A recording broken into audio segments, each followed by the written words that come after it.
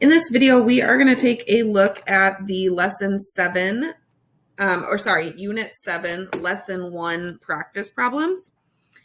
So in this diagram, we want to determine the um, values of x, y, and z. So in this lesson, you talked about some different vocabulary terms.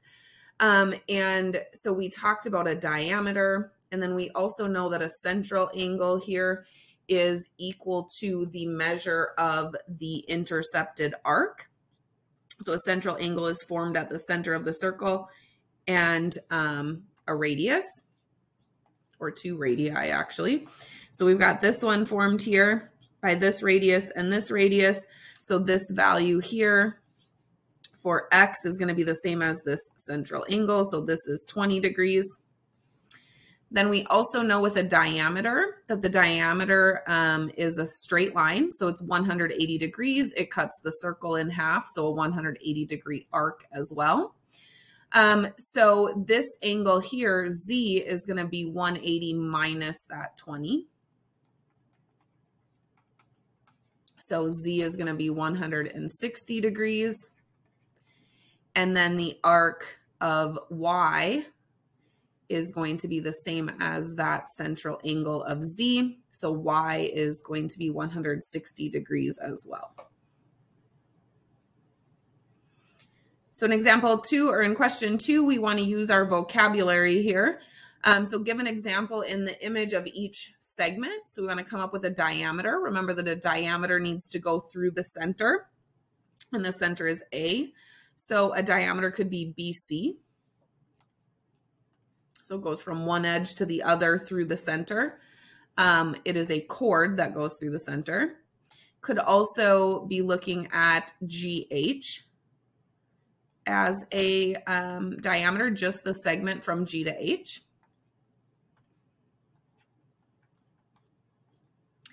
And then a chord that is not a diameter, so one that goes from side to side but does not go through point A. So a segment that does not go through point A. So we could say DE for that one.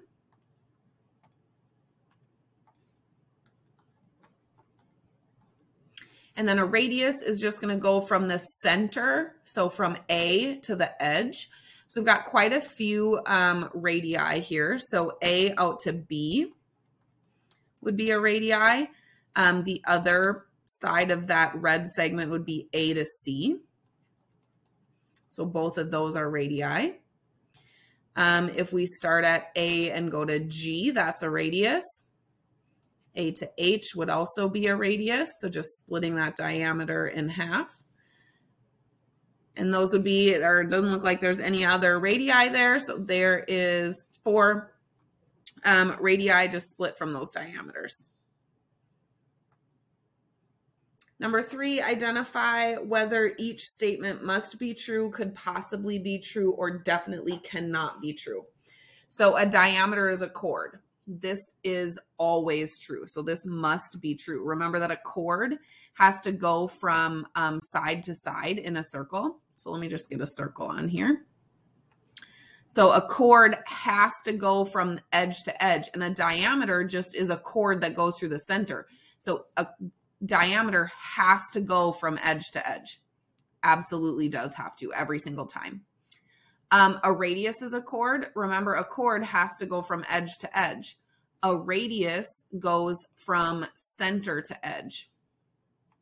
So radius does not go edge to edge. So this is never true. Okay, it definitely cannot be true.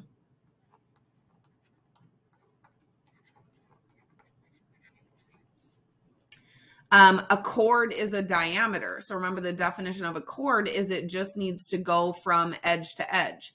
So we know that a chord could be a diameter. Okay, it could go through the center. It does not have to. This would be an example of a chord that does not go through the diameter, goes edge to edge, or sorry, does not go through the center.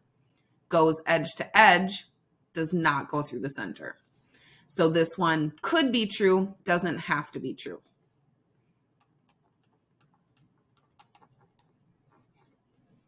And then a central angle has a measure of 90 degrees. Um, that's certainly possible. Okay, so let's just move this radius here. So here's a bunch of different central angles. This is a central angle. All of these are central angles that are being formed by this red radius and the green diameter.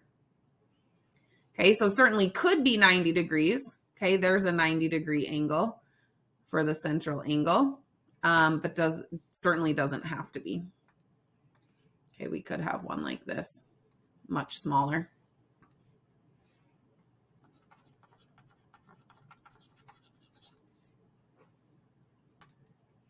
Number four, write the equation of the altitude from vertex A. So let me highlight the altitude on here. So here's your altitude. Remember, an altitude goes from a vertex perpendicular to the opposite side. So we see this red segment is the altitude. Let's write the equation of it. So an equation um, in point slope form would be y minus the y coordinate equals the slope times x minus the x coordinate. So let's determine the slope of this line.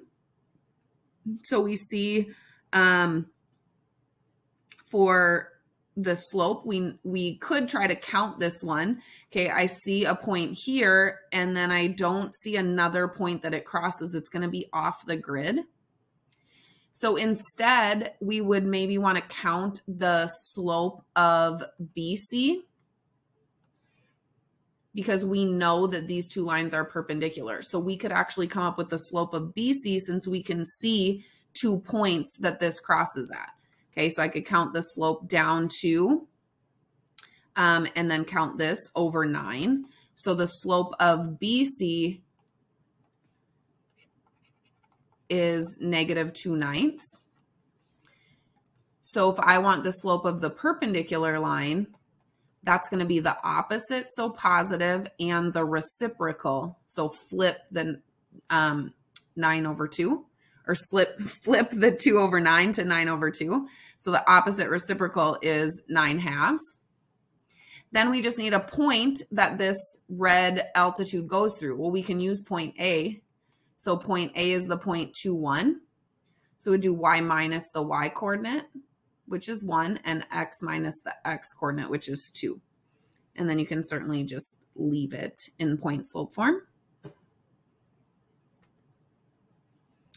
Um, triangle ABC has these vertices. What is the point of intersection of the medians?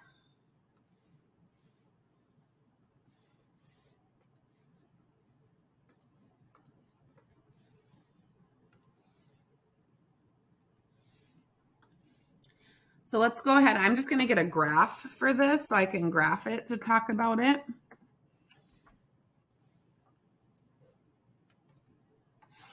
So let me graph these um, points first.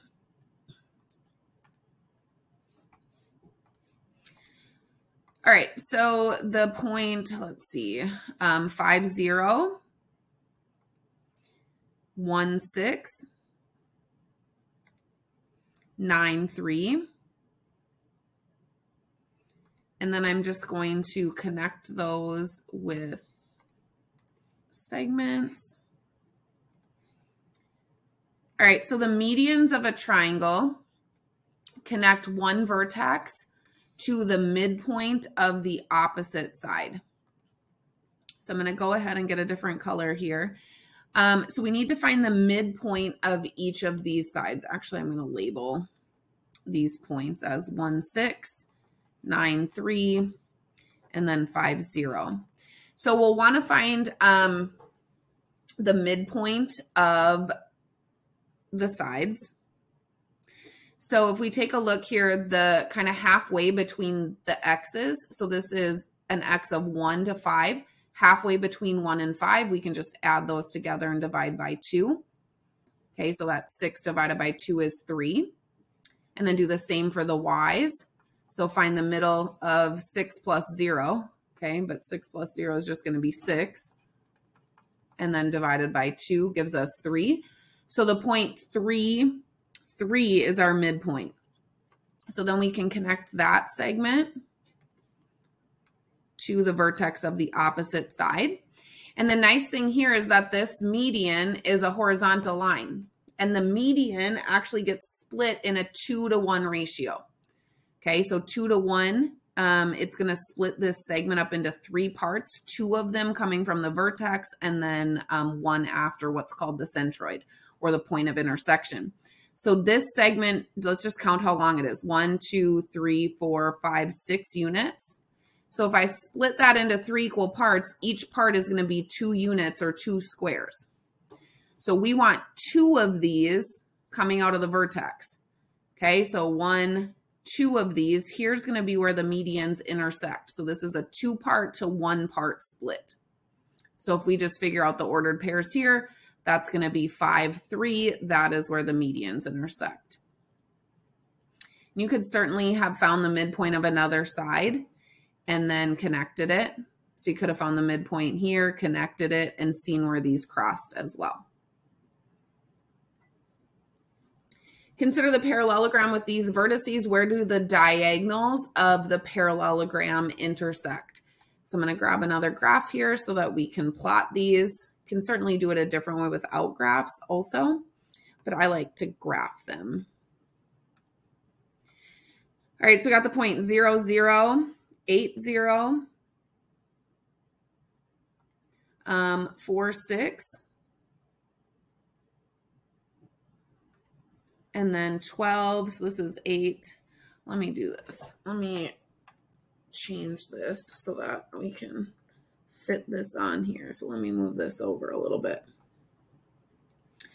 All right, so let's fix this. So this is one, two, three, four, five, six, seven, eight.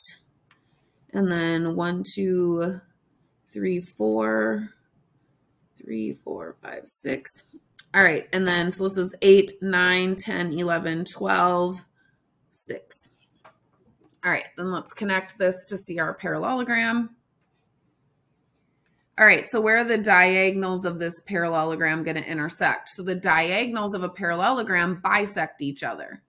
Okay, so that means that the diagonal is going to get split in half. So you can just do this if you've graphed it and find that point.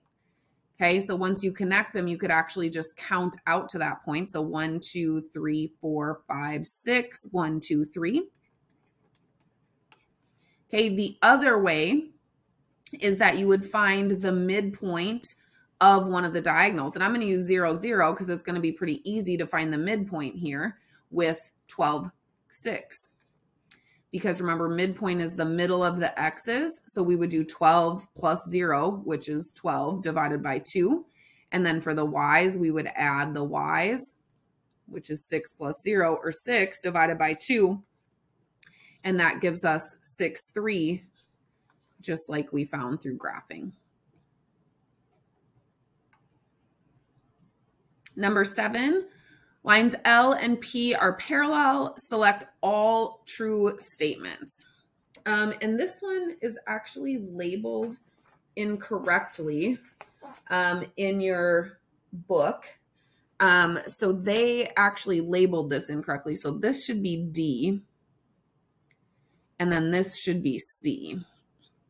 All right, so triangle ABD. Okay, so ABD. So this triangle here is congruent, okay, or the same size to triangle CEF.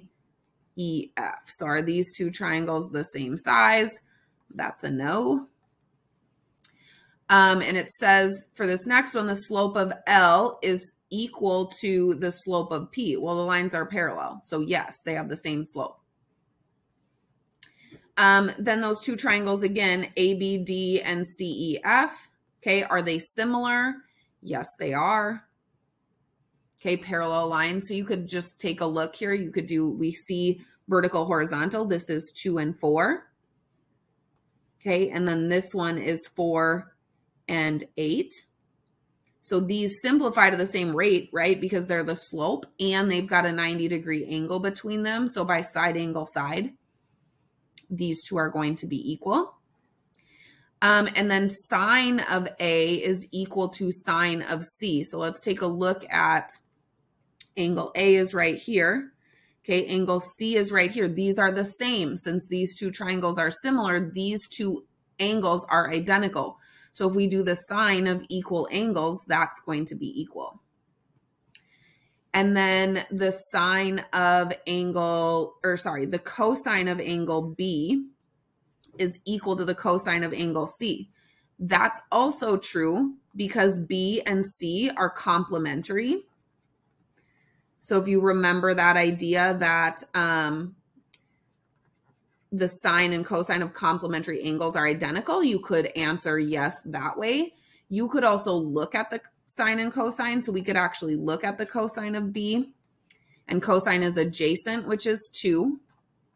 Okay. And then you could figure out the hypotenuse here um, by doing Pythagorean theorem. So four squared um, plus two squared. So this is 16 plus four. So that's the square root of 20.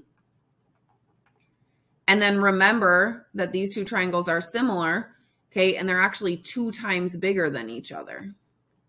So this hypotenuse is going to be two square root 20s.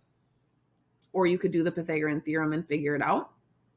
Um, but so then if we do the sine of C, opposite is 4, hypotenuse is 2 square root 20. Um, 4 divided by 2 simplifies to 2, and we end up with the same ratios there. Number eight, Mai wrote a proof um, that triangle AED, okay, so AED is congruent to CEB. Mai's proof is incomplete. How can Mai fix her proof? So we know that side AE is congruent to side CE. Okay, so she has this in her proof. Um, and angle A is congruent to angle C, so she has that in her proof. So by angle side angle triangle congruence theorem, the two triangles are congruent. So she only has two pieces of information in her proof. So she only has angle side so far. She doesn't have the um, second set of angles included in her proof. So the second set of angles would be these two angles. Okay, so she needs to add in right here um, that angle AED is congruent to angle CEB by vertical angles, or she could say because they're vertical angles. So I'll just write because they are vertical angles. Um, then we could say by angle side angle because then she has all of the information that she's using included in her proof. So then her proof would be complete.